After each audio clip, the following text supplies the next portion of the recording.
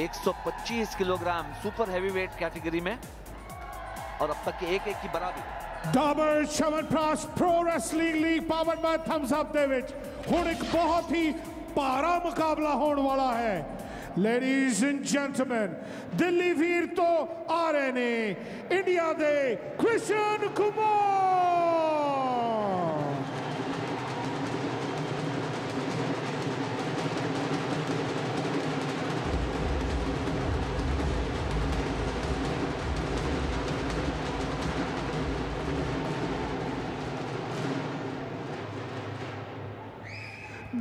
World Shaman Pros Pro Wrestling League, powered by Thumbs Up David. हो रहा रहे ने यूपी वॉरियर्स डे इंडिया डे जोगिंदर कुमार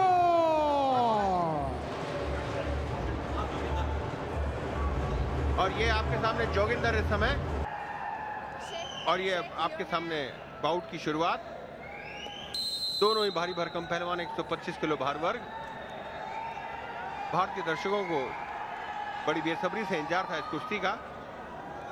दोनों ही पहलवान टांग मारने के माहिर हैं। और यहाँ पर देखना दिलचस्प होगा कि आज कौन पहलवान टांग मार के दूसरे को धाराशाही करता है। इस खेल में संतुलन सबसे अहम चीज़ है। टांग हिली संतुलन खुद ब खुद हिला। तो इसीलिए जो आप कह रहे हैं वो बिल्कुल वाजिब है। या फाउंडेशन बड़ा स्ट्रांग होना चाहिए। लेकिन एक बहुत अहम सवाल मेरे दिमाग में बहुत दिनों से घूम रहा है जगदीश कि डाइट ये दिन आज इनकी शाम की बाउट से है तो क्या ये खाना खाते हैं या नहीं खाते हैं? सवेरे ब्रेकफास्ट करते हैं लंच करते हैं क्या करते हैं? इतने हट्टे कट्टे कैसे हो गए खाना खाए बिना? हवा थोड़ा ना लग गई। मैच के दिन। मैच के दिन। और ये रेफरी का इशारा ब्लू कॉस्ट्यूम के रेसलर के लिए। हजूर आपने सवाल और जवाब नहीं दिया। देखिए, जहाँ तक खाने की बात है तो 125 किलो के भारी भरकम वेट के जो पहलवान हैं, उनको बहुत ज़्यादा प्रोटीन रिच डाइट खानी पड़ती है और जिस दिन उनकी बाउट होती है, उस दिन वो रॉ डाइट कम खाते हैं और फ़ूड सप्लीमेंट्स का ज़्यादा उपयोग करते हैं। जिसमें प्रोटीन हो गया क्रेटिन हो गया। दोनों ही पहलवान एक दूसरे की ताकत का यहाँ पे अंदाज़ा लेते हुए तो ऐसा है जैसे जू में जाके कछुओं की रेस देख रहे हो। बहुत बिल्कुल धीमा सही बिल्कुल सही सर। यहाँ पर कुश्ती काफ़ी धीमी चाल में और ये यहाँ पे 30 सेकंड्स का टाइम शुरू हुआ। एक्टि, ये एक्टिविटी टाइम है 30 सेकंड्स का यहाँ पे स्कोर करना होगा ज़रूरी। आज पिछला बाउट भी हमने देखा काफ़ी स्लो धीमा डिफेंसिव पोस्चर था। दोनों ही रेसलर्स का हालाँकि डिफरेंट वेट कैटेगरी थी। यहाँ पर तो सुपर हैवी वेट है ये। नेचुरली स्लो चलता है मामला। परिस्थितियों का दबाव है। कहते हैं, दाल का चूका बंदर अषाढ़ का चूका किसान। अषाढ़ होता है मानसून अषाढ़ का चूका किसान और वक्त का चूका इंसान हमेशा पछताता है। ये वक्त बड़ा अहम है।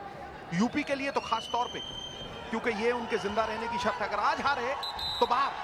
और ढकेल दिया, एक पॉइंट अर्जित किया। बहुत सुंदर अटैक यहाँ पर हालाँकि एक अंक मिल गया था एक्टिविटी 30 सेकंड में स्कोर नहीं कर पाए थे जोगिंदर। हालाँकि जोगिंदर ने अब हिम्मत दिखाई और डबल लेग अटैक किया और पैसिविटी एरिया से बाहर धकेल दिया। समय पैर पकड़ा, बहुत सुंदर अटैक एक कैरी पट पकड़ी और बाहर धकेलने में सफल निश्चित रूप से यहाँ पर एक अंक मिलेगा। इसको कहते हैं हिम्मत, इसको कहते हैं साहस। गिरे तो भी टांग ऊपर। देखिए लेकिन अटैक और काउंटर अटैक दोनों चल रहा है। दोनों ही रेसलर्स की ये कोशिश है कि किसी को ज़्यादा लीड ना लेने दें। देखिए आज दोनों ही पहलवान काफ़ी अग्रेसिव रेसलिंग कर रहे हैं। मुझे दोनों की प्रशंसा करनी पड़ेगी। पूरी ताकत अपनी झोंक दी है दोनों पहलवानों ने। कुश्ती है न्यारी पहलवान सबसे भारी। अभी भी पलना भारी जोगिंदर का। जोगिंदर गोल्ड मेडल जीते हुए हैं सीनियर कॉमनवेल्थ चैंपियनशिप्स अफ्रीका में 2013 में। तो दो साल हो गए उसे। और ये टांग मारने की कोशिश देखिए।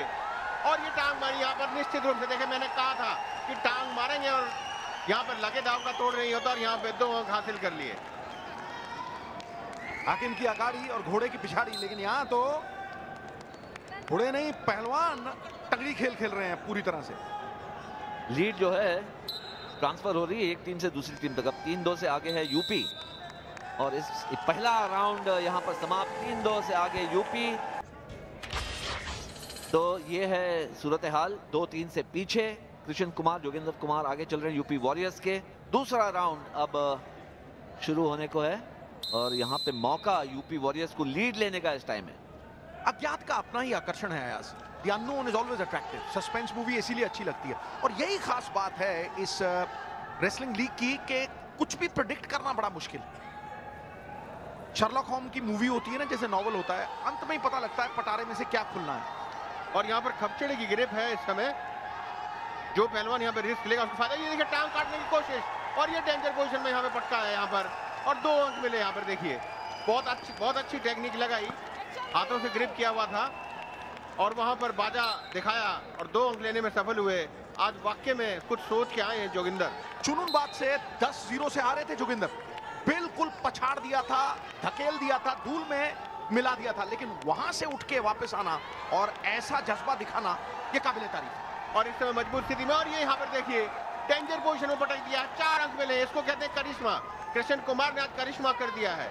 यही देखिए चार अंकों में पटक दिया स्टैंडिंग पोजीशन में जब आप खिलाड़ी को पटकते हैं डेंजर पोजीशन में चार अंक मिलते हैं और इस समय अंक तालिका आठ पाँच का स्कोर आपने स्नेक्स एंड लेडर्स देखी है? खेली है कभी? सांप सीढ़ी? वो सीढ़ी पे चढ़ता चढ़ता चढ़ता निन्यानवे पहुँचा फिर डंक पड़ता ठांग करके नीचे। देखिए बहुत शानदार।